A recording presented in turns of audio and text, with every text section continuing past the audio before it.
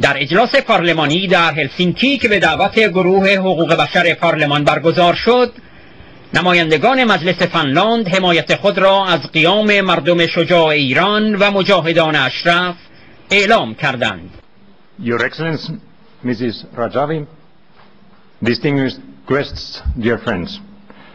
It's my pleasure to wish you all welcome to the Finnish Parliament at this meeting hosted by the Human Rights Group of the Parliament.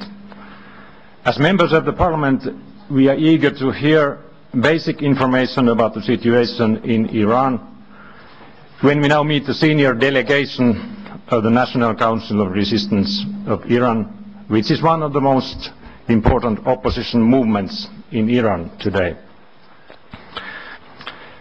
Finland has had its long way to one of the modern Nordic democratic countries. High respect for human rights is basic for our constitution and legal system today.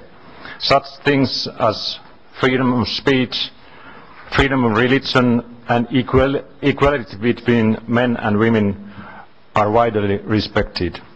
However, we cannot say that Finland is a perfect society in all respects we have still a lot to do in promoting full inform, enforcement of human rights of every person and minority group in Finland.